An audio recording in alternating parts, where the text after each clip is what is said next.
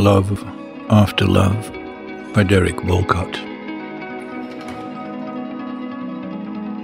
The time will come when, with elation, you will greet yourself arriving at your own door, in your own mirror, and each will smile at the other's welcome.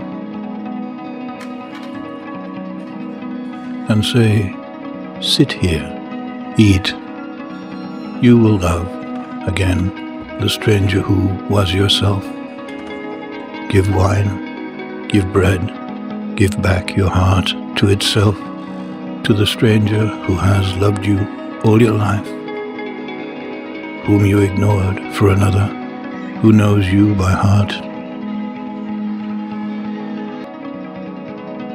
Take down the love letters from the bookshelf, the photographs, the desperate notes.